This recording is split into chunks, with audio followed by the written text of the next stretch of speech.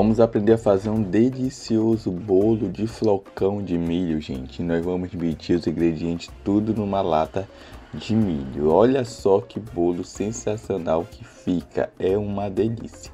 Então nós vamos primeiramente adicionar aqui no recipiente uma lata de flocão de milho.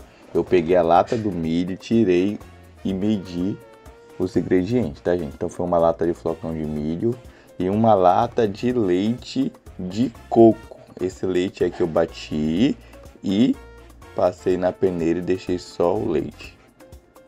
Leite de coco. Aí eu adicionei uma pitadinha de sal, vamos mexer bem. E eu vou adicionar 50 gramas de coco ralado. Pode ser o coco natural ou pode ser o coco aqui igual que eu estou usando, de saquinho que vende no supermercado. Então vamos misturar bem é muito importante a gente fazer esse processo porque vai hidratar o coco vai hidratar o flocão de milho e o nosso bolo ele vai ficar mais fofinho, mais saboroso. Prontinho. Agora nós vamos reservar aqui e pegar nosso liquidificador. Que nós vamos adicionar no liquidificador dois ovos inteiros. Vamos adicionar uma pitadinha só de óleo, viu gente? Nada de negócio de meia lata, uma lata, não há necessidade. Uma pitadinha de óleo. Vamos adicionar, é uma lata de açúcar, só que eu acho que fica muito doce, então eu adiciono um pouco menos de uma lata. Vamos deixar bater bem esses ingredientes aqui no liquidificador. E nesse meio tempo já venho, já venho convidando vocês a se inscrever aqui no nosso canal, deixar aquele super like aqui pra gente. Tá certo, amiguinhos? Ó, misturamos legal. Agora nós vamos colocar aqui no nosso liquidificador o nosso frocão de milho hidratado com coco. Então vamos adicionar tudo aqui no nosso liquidificador. Não tem segredo, viu gente? Esse bolo é um sucesso.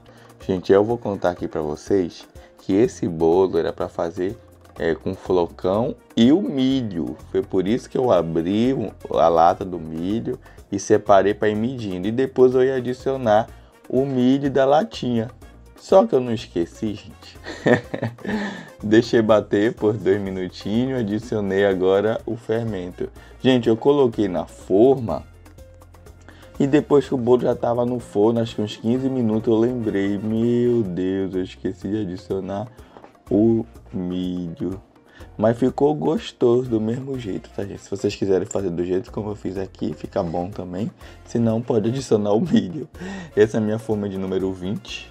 E eu untei ela com margarina e, e polvilhei com açúcar demerara. Eu uso suco demerara, gente. Deixei 40 minutinhos no forno, 35 a 40 minutinhos, 200 graus ainda está super quente e olha só como ficou o nosso bolo. Gente, ele ficou uma delícia.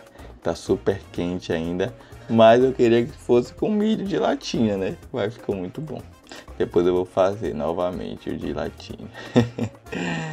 Olha só que delícia! Eu espero que vocês tenham gostado dessa nossa receita. Se gostaram, já deixa um comentário, já deixa um like também. E a gente se vê, viu, gente, no próximo vídeo. Um forte abraço, valeu e tchau, tchau!